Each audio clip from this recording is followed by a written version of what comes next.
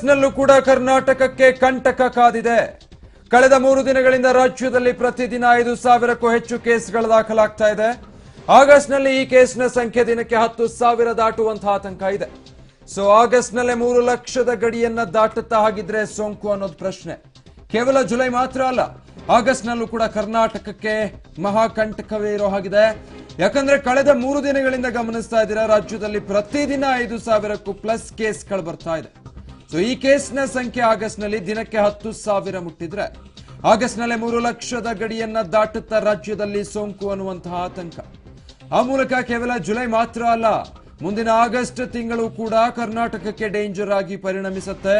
ಕಳೆದ ಮೂರು ದಿನಗಳಿಂದ ನೋಡ್ತಾ ಇದ್ದೀವಿ, ಯಾವ ವೇಗವನ್ನ ಪಡೆದುಕೊಂಡಿದೆ, ಸೋಂಕಿನ ಪ್ರಕರಣಗಳು ಹೆಚ್ಚಾಗ್ತಾ ಇರೋದ್ರಲ್ಲಿ ಅನ್ನುವಂಥದ್ದನ್ನ. ಸೊ ಕರುನಾಡಿಗೆ ಆಗಸ್ಟ್ನ ವಾರ್ನಿಂಗ್, ಈಗ ಪ್ರತಿನಿತ್ಯ ಐದು ಸಾವಿರ ಪಾಸಿಟಿವ್ ಕೇಸ್ಗಳು. ಜುಲೈ ತಿಂಗಳ ಅಂತ್ಯದ ವೇಳೆಗೇನೆ ನಾವು ಇದನ್ನ ವಿಟ್ನೆಸ್ ಮಾಡ್ತಾ ಇದ್ದೀವಿ ಪ್ರತಿನಿತ್ಯ ಐದು ಸಾವಿರ ಪಾಸಿಟಿವ್ ಕೇಸ್ಗಳಂತೆ ರಾಜ್ಯದಲ್ಲಿ ಜುಲೈನ ಕೊನೆಯ ವಾರದಲ್ಲೇ ದಾಖಲಾಗ್ತಾ ಹೋಗ್ತಾ ಇದೆ. ಇನ್ನು ಆಗಸ್ಟ್ನಲ್ಲಿ ಏನಾಗಬಹುದು ಅಂತ. ಪ್ರೀ ಆಗಸ್ಟ್ ಆದರೆ ಪ್ರತಿನಿತ್ಯ ಹತ್ತು ಸಾವಿರ ಕೇಸ್ ಪಕ್ಕಾ. ಮುಂದಿನ ತಿಂಗಳು ನಿಜಕ್ಕೂ ಕರ್ನಾಟಕಕ್ಕೆ ಡೇಂಜರ್ ಎದುರಾಗುವಂತಹ ಪರಿಸ್ಥಿತಿ. ಯಾಕಂದ್ರೆ ಪ್ರತಿನಿತ್ಯ ಇದು ಹತ್ತು ಸಾವಿರ ಕೇಸ್ ದಾಖಲಾಗೋದು ಬಹುತೇಕ ಖಚಿತ ಅನ್ನುವಂತಹ ಬೆಳವಣಿಗೆಗಳನ್ನ ಗಮನಿಸ್ತಾ ಇರೋದ್ರಿಂದ ನಾವು.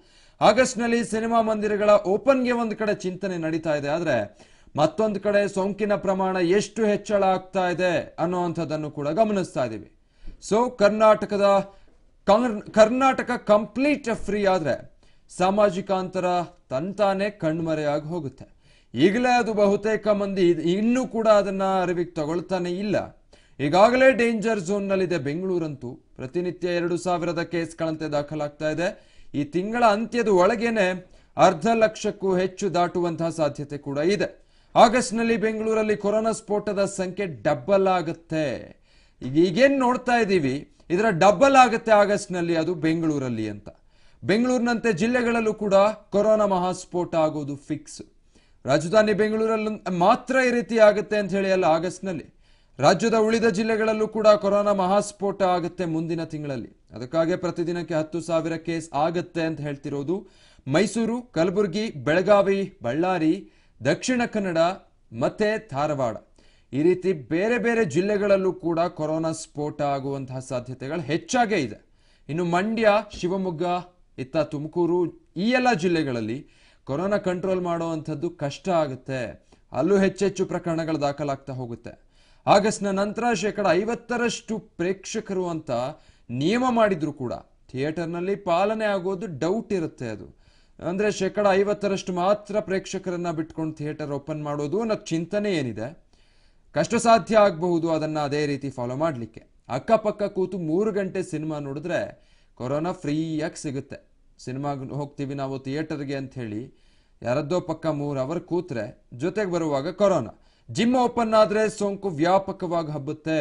ಜಿಮ್ಗಳ ಮತ್ತು ಥಿಯೇಟರ್ಗಳ ಓಪನ್ಗೆ ಆಗಸ್ಟ್ನಲ್ಲಿ ಚಿಂತನೆ ಕೂಡ ನಡೆದಿದೆ ಆದರೆ ಮತ್ತೊಂದು ಕಡೆ ರಾಜ್ಯದಲ್ಲಿ ಹೇಗಿದೆ ಚಿತ್ರಣ ಅನ್ನೋದು ಗಮನಿಸ್ತಾ ಇದ್ದೀರಾ. ಮತ್ತಷ್ಟು ಅಪ್ಡೇಟ್ಸ್ ಕೊಡ್ತಾರೆ. ಆಗಲೇ ಹೇಳ್ತಾ ಇದ್ರಿ ಪ್ರಕಾಶ್, ಸದ್ಯ ಬೆಂಗಳೂರು ಸೇರಿದಂತೆ ರಾಜ್ಯದ ಕಥೆ ಏನಿದೆ? ಸರ್ಕಾರ ಎಲ್ಲೆಲ್ಲಿ ತಪ್ಪುಗಳನ್ನು ಮಾಡ್ಕೊಂಡು ಬಂದಿದೆ ಅಂತ. ಸೊ ಈಗ ನೋಡ್ತಾ ಇದ್ರೆ ತಜ್ಞರು ಹೇಳಿದಾಗೇನೆ ಜುಲೈ ಅಂತ್ಯಕ್ಕೆ ಕೇಸ್ಗಳ ಸಂಖ್ಯೆ ಹೆಚ್ಚಾಗ್ಬಿಟ್ಟಿದೆ. ಮುಂದಿನ ತಿಂಗಳು ನೆನೆಸ್ಕೊಂಡ್ರೆ ಆಗಸ್ಟ್ನ ಕತೆ ಏನಪ್ಪ ಅಂತ ಭಯ ಆಗುತ್ತೆ. ಸೊ ಆ ಬಗ್ಗೆ ಏನಿದೆ ಅಪ್ಡೇಟ್ ವಿಜಯ್, ನಿಜಕ್ಕೂ ಕೂಡ ಇದು ಆತಂಕಕಾರಿ ವಿಚಾರ, ಬೆಳವಣಿಗೆ ಕೂಡ ಹೌದು.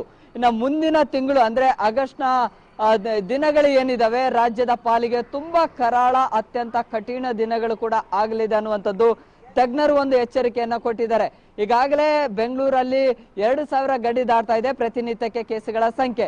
ಓವರಾಲ್ ರಾಜ್ಯದಲ್ಲಿ ತೆಗೆದುಕೊಂಡ್ರೆ ಪ್ರತಿದಿನಲೂ ಕೂಡ ಐದು ಸಾವಿರ ಗಡಿ ದಾಟ್ತಾ ಇದೆ. ಈ ಸಂಖ್ಯೆ ಆಗಸ್ಟ್ನಲ್ಲಿ ಹತ್ತು ಸಾವಿರಕ್ಕೆ ಬಂದ್ರೂ ಕೂಡ ಅಚ್ಚರಿ ಪಡಬೇಕಾಗಿಲ್ಲ ಅನ್ನುವಂತಹ ಎಚ್ಚರಿಕೆಯನ್ನ ಕೂಡ ಕೊಟ್ಟಿದ್ದಾರೆ. ಎಲ್ಲೋ ಒಂದು ಕಡೆ ರಾಜ್ಯದಲ್ಲಿ ಸೋಂಕಿತರ ಸಂಖ್ಯೆ ಪದೇ ಪದೇ ಹೆಚ್ಚಾಗ್ತಾ ಇದೆ. ಆದ್ರೆ ಸರ್ಕಾರ ಪದೇ ಪದೇ ಎಡುತ್ತಾ ಇದೆ. ಅದರಲ್ಲೂ ಕೂಡ ಬೆಂಗಳೂರಲ್ಲಿ ಸೋಂಕಿತರ ಸಂಖ್ಯೆ ಡಬ್ಲಿಂಗ್ ಆಗ್ತಾ ಇದೆ. ಅಂದ್ರೆ ವಾರ್ ರೂಮ್ನ ರಿಪೋರ್ಟ್ನ ಪ್ರಕಾರ ಹದಿನಾಲ್ಕು ದಿನಗಳಿಗೆ ಸೋಂಕಿತರ ಸಂಖ್ಯೆ ಡಬಲ್ ಆಗ್ತದೆ ಅನ್ನುವಂಥದ್ದು ಒಂದು ರಿಪೋರ್ಟ್ ಅನ್ನ ಕೊಟ್ಟಿದ್ದಾರೆ. ಅಂದ್ರೆ ಹದಿನಾಲ್ಕು ದಿನಗಳ ಅವಧಿ ಏನ್ ಕೊಟ್ಟಿದ್ದಾರೆ ಡಬಲಿಂಗ್ ಸ್ಯಾಂಪಲ್ ಅಲ್ಲಿ? ಸೊ ಅದು ಒಂದು ಹದಿನಾಲ್ಕು ದಿನದಲ್ಲಿ ಐದ್ನೂರು ಸಂಖ್ಯೆ ಆದ್ರೆ ಅದು ಮತ್ತೊಂದು ಹದಿನಾಲ್ಕು ದಿನಕ್ಕೆ ಅದು ಡಬಲಿಂಗ್ ಆಗ್ತಾ ಇದೆ. ಅಂದ್ರೆ ಅಷ್ಟು ತ್ವರಿತವಾಗಿ ಬೆಂಗಳೂರಲ್ಲಿ ಕೂಡ ಸೋಂಕಿತರು ಪತ್ತೆ ಆಗ್ತಾ ಇದ್ದಾರೆ. ಬಹುಶಃ ಆಗಸ್ಟ್ ತಿಂಗಳಲ್ಲಿ ಕೂಡ ಇದರ ಸಂಖ್ಯೆ ತುಂಬಾ ಹೆಚ್ಚಾಗುತ್ತೆ. ರಾಜ್ಯದಲ್ಲಿ ರಣಭೀಕರ ಸ್ಫೋಟ ಆಗುತ್ತೆ ಅನ್ನುವಂತಹ ಎಚ್ಚರಿಕೆಯನ್ನು ಕೂಡ ಕೊಟ್ಟಿದ್ದಾರೆ. ಅದರ ಜೊತೆಗೆ ಓವರಾಲ್ ಆಗಿ ರಾಜ್ಯದಲ್ಲಿ ಆಗಸ್ಟ್ ಒಂದೇ ತಿಂಗಳಲ್ಲಿ ಮೂರು ಲಕ್ಷಕ್ಕೂ ಅಧಿಕ ಸೋಂಕಿತರು ಪತ್ತೆ ಆಗ್ತಾರೆ ಅನ್ನುವಂತಹ ಸ್ಫೋಟಕ ಮಾಹಿತಿಯನ್ನು ಕೂಡ ಬಿಚ್ಚಿಟ್ಟಿರುವಂತದ್ದು ಅದರ ಜೊತೆಗೆ ಇದೀಗ ಬೆಂಗಳೂರು ಮತ್ತೆ ಕೆಲವೊಂದು ಜಿಲ್ಲೆಗಳಲ್ಲಿ ಕೂಡ ರ್ಯಾಪಿಡ್ ಆಂಟಿಜೆನ್ ಟೆಸ್ಟ್ಗೆ ಒಂದು ಅವಕಾಶ ಮತ್ತೆ ಅದರ ಒಂದು ವ್ಯವಸ್ಥೆಯನ್ನ ಮಾಡಿಕೊಳ್ಳಲಾಗಿದೆ. ಈ ಮೂಲಕವಾಗಿ ತ್ವರಿತಗತಿಯಲ್ಲಿ ಆ ಒಂದು ರಿಸಲ್ಟ್ ಬರುತ್ತೆ. ಸೊ ಹೀಗಾಗಿ ಟೆಸ್ಟ್ನ ರಿಪೋರ್ಟ್ ಏನು ಬರ್ತಾ ಇದೆ, ಅದು ಏನು ಬೇಗನೆ ಬರುತ್ತೆ. ಸೊ ಹೀಗಾಗಿ ಅದರ ಸಂಖ್ಯೆ ಕೂಡ ಹೆಚ್ಚಾಗುತ್ತೆ ಅನ್ನುವಂತಹ ಯೋಚನೆಯಲ್ಲಿದ್ದಾರೆ. ಇನ್ನು ರಾಜ್ಯ ಸರ್ಕಾರ ಕೂಡ ಸದ್ಯಕ್ಕೆ, ಅಂದ್ರೆ ಪ್ರಾಥಮಿಕ ಹಂತವಾಗಿ ಒಂದು ಲಕ್ಷ ಆಂಟಿಜೆನ್ ಟೆಸ್ಟ್ ಕಿಟ್ಗಳನ್ನ ಕೂಡ ಖರೀದಿ ಮಾಡಿತ್ತು. ಅದಾದ ನಂತರ ಈಗ ಮತ್ತೆ ಹೆಚ್ಚುವರಿ ಕಿಟ್ಗಳನ್ನ ಕೂಡ ರೆಡಿ ಮಾಡಿಕೊಂಡು ಮತ್ತೆ ಮತ್ತಷ್ಟು ಸೋಂಕಿತರಿಗೆ ಅಥವಾ ಟೆಸ್ಟ್ ಮಾಡೋದಕ್ಕೆ ಮುಂದಾಗಿರುವಂತದ್ದು ಒಂದು ವಿಚಾರ ಏನಂತ ಹೇಳಿದ್ರೆ, ರಾಜ್ಯದಲ್ಲಿ ಮತ್ತೆ ಜಿಲ್ಲಾವಾರ ಕೇಂದ್ರಗಳಲ್ಲಿ ಕೂಡ ಇದರ ಸಂಖ್ಯೆ ಪದೇ ಪದೇ ಅಂದ್ರೆ ದಿನನಿತ್ಯ ಹೆಚ್ಚಾಗ್ತಾ ಇದ್ರು ಕೂಡ ಒಂದಿಷ್ಟು ಎಡವಟ್ಟುಗಳನ್ನ ಮಾಡಿಕೊಳ್ತು. ಅದೇ ಎಡವಟ್ಟುಗಳು ರಾಜ್ಯದ ಪಾಲಿಗೆ ತುಂಬಾ ಕಠಿಣ ಮತ್ತೆ ಕರಾಲ ದಿನಗಳ ಆಗೋದಕ್ಕೆ ಶುರುವಾಯಿತು. ಈಗಾಗಲೇ ಬೆಂಗಳೂರಲ್ಲಿ ಕೂಡ ಒಂದಿಷ್ಟು ಕ್ವಾರಂಟ್ ಕ್ವಾರಂಟೈನ್ ಸೆಂಟರ್ಗಳಲ್ಲಿ ಸರಿಯಾದ ವ್ಯವಸ್ಥೆ ಮಾಡದೇ ಇರುವಂತದ್ದು ಜೊತೆಗೆ ಏನು ಪ್ರಕಾಶ್ ಪ್ರಕಾಶ್ ಹಾಗೆ ಸಂಪರ್ಕ ಕಾಯ್ದುಕೊಳ್ಳಿ. ಮತ್ತೆ ಮಾತಾಡಿಸ್ತೀನಿ ನಿಮ್ಮನ್ನ. ಸೊ ಬೆಂಗಳೂರು ಸೇರಿದಂತೆ ರಾಜ್ಯದಲ್ಲಿ ಆಗಸ್ಟ್ನಲ್ಲಿ ಏನಾಗಬಹುದು ಅಂತ. ಹನ್ನೆರಡು ಜಿಲ್ಲೆಗಳಲ್ಲಿ ಒಂದೇ ದಿನ ನೂರಕ್ಕೂ ಹೆಚ್ಚು ಕೇಸ್.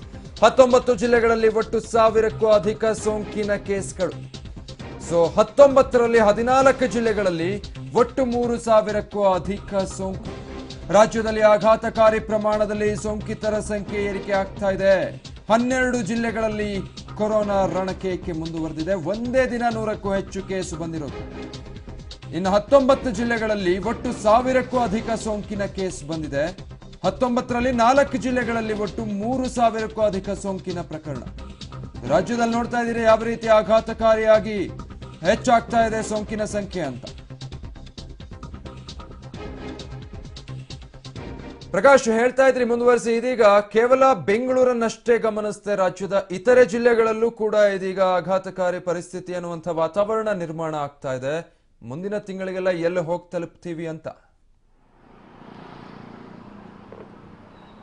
ವಿಜಯ್ ಈಗಾಗಲೇ ಸಮುದಾಯದ ಮಟ್ಟಕ್ಕೆ ಈ ಒಂದು ಸೋಂಕು ಹಬ್ಬಿದೆ. ಆದ್ರೆ ಸರ್ಕಾರ ಇದನ್ನ ಒಪ್ಪಿಕೊಳ್ತಾ ಇಲ್ಲ. ಎಲ್ಲಿ ಒಪ್ಪಿಕೊಂಡ್ರೆ ನಮ್ಮ ತನವನ್ನ ನಾವು ಕಳ್ಕೊಳ್ತೀವೇನೋ ಅನ್ನುವಂತಹ ನಿಟ್ಟಿನಲ್ಲಿ. ಈಗಾಗಲೇ ಲಾಕ್ಡೌನ್ ಅವಧಿಯಲ್ಲಿ ಸಾಕಷ್ಟು ಜನರು ಕೂಡ ಬೆಂಗಳೂರನ್ನ ತೊರೆದು ತಮ್ಮ ತಮ್ಮ ಹಳ್ಳಿಗಳಿಗೆ ಹೋಗಿದ್ರು. ಸೊ ಹೀಗಾಗಿ ಬೆಂಗಳೂರಿನಿಂದನೇ ಸೋಂಕನ್ನ ತಮ್ಮ ಹಳ್ಳಿಗಳಿಗೆ ಹಬ್ಬಿಸಿರುವಂತದ್ದು ಸೊ ಹೀಗಾಗಿ ಪ್ರತಿಯೊಂದು ಹಳ್ಳಿಗಳಲ್ಲಿ ಕೂಡ ಇದೀಗ ಸೋಂಕು ಹಬ್ಬಿರುವಂತದ್ದು ಗೊತ್ತಾಗ್ತಾ ಇದೆ. ಈ ಮೂಲಕವಾಗಿ ಆಯಾ ಜಿಲ್ಲೆಗಳಲ್ಲಿ ಕೂಡ ಸೋಂಕಿತರ ಸಂಖ್ಯೆ ಹೆಚ್ಚಾಗ್ತಾ ಇದೆ. ಪ್ರಾರಂಭಿಕ ಹಂತಗಳಲ್ಲಿ ಜಿಲ್ಲಾವಾರು ಕೇಂದ್ರಗಳಲ್ಲಿ ಮತ್ತೆ ಆ ಜಿಲ್ಲೆಯ ಹಳ್ಳಿಗಳಲ್ಲಿ ಕೂಡ ಸೋಂಕಿತರ ಸಂಖ್ಯೆ ತುಂಬಾ ಕಡಿಮೆ ಇತ್ತು.